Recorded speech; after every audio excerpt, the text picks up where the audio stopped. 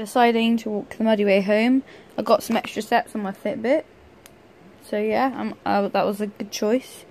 And I had loads of parcels and I was going to film opening them, but I got too excited. And they're actually all hideous and I don't remember buying any of it.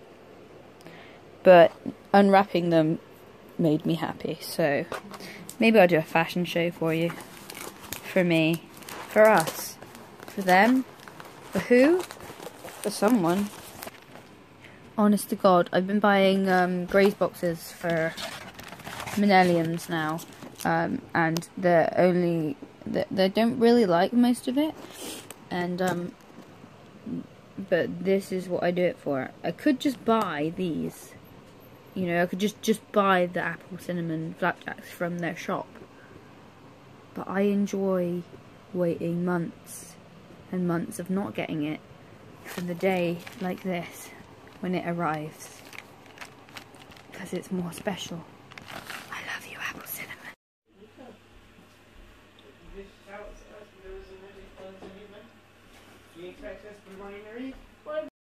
My new top, isn't it snazzy?